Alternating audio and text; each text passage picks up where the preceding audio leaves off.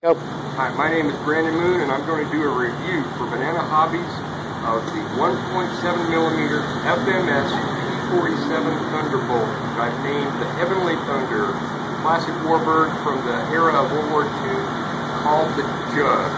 This plane is available at bananahobbies.com. Beautiful flying airplane, has a 380 motor up front, 60 in size, functional retracts, navigational lights on the wingtips, functional flaps, rudder, elevator, absolutely gorgeous bird. Bomb drop on the bottom, uh, if you choose to modify it in, it does have detachable bombs that come with it. I've actually added one extra thing to mine, I have the bazooka launchers. There's so many things you can do with this bird to dress it up. I've modified mine to a razorback version right here. It's absolutely gorgeous. See you at the flying.